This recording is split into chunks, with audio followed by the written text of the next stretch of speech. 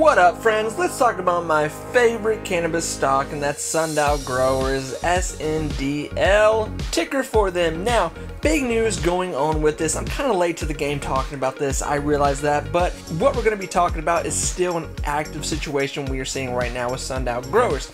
Now, here's the situation what we're seeing. Sundial has spent some money here and they have bought Alcanna. Now, Alcanna has been in the news the last few years here. This is a retailer of alcohol in two Canadian provinces, Alberta and British Columbia. It has 171 locations in two provinces. Also has a 63% equity interest in Nova Cannabis. A Canadian retailer operates 62 cannabis stores in Alberta. Now listen, this is a pretty big situation we're seeing here with Sundial. We know that Sundial has money. We know that they have almost a billion dollars in cash because they took two stock offerings at the beginning of the year back to back and they walked away with almost 900 million dollars at that time. So, so obviously they're spending some money right now. And we've seen Sundial do this before. They have bought into other companies, other cannabis companies. They have done things like this before in the past. And the joke has been made with Sundial already in the past that is this a cannabis company or an investment company? And we're still seeing that now. The CEO just had this to say. Zach George said about the deal it provides a consistently profitable revenue stream for the company so that it can patiently wait for some of its bets to pay off, such as its 18% stake in Indiva, which is another cannabis company. They even deal in cannabis candies that you can eat, all that kind of stuff. So that's kind of old news. They I've talked about that deal like that happened this year actually, but very early on into this year. So friends, I have always been very bullish on Sundials. If you know me, you know my past with Sundial. Um, I have made a ton of videos on these guys, and every time I tell people I'm still very bullish on them because this is just not a cannabis company.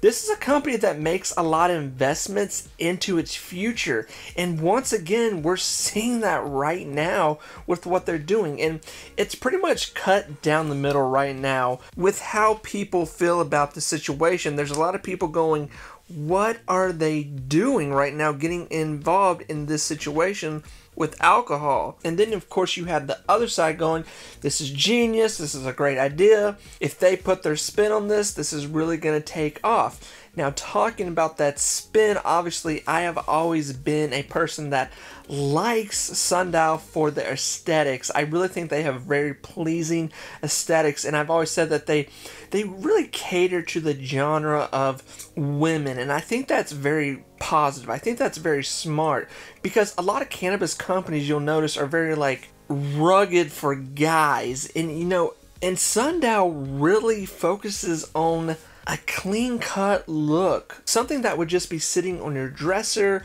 on your kitchen counters.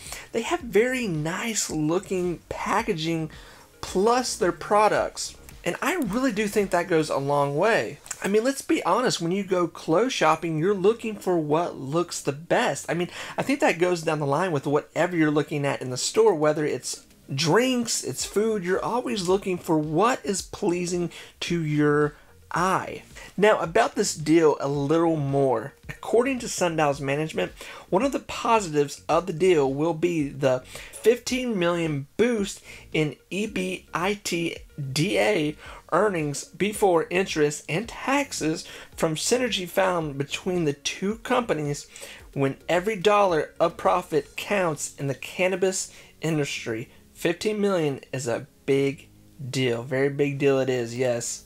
So with this deal, a lot of people are changing their tune with what's going on. Like I said, there's two different camps here, but this is kind of drawing people to, um, you know, to Sundial right now. They're going, well, this is not only a company that does cannabis, sells cannabis, but now they're in this other industry and it's an investment. Look at it more as an investment than what is really going on. That, you know, they're part of this now. They're selling something totally different along with what they're already doing now.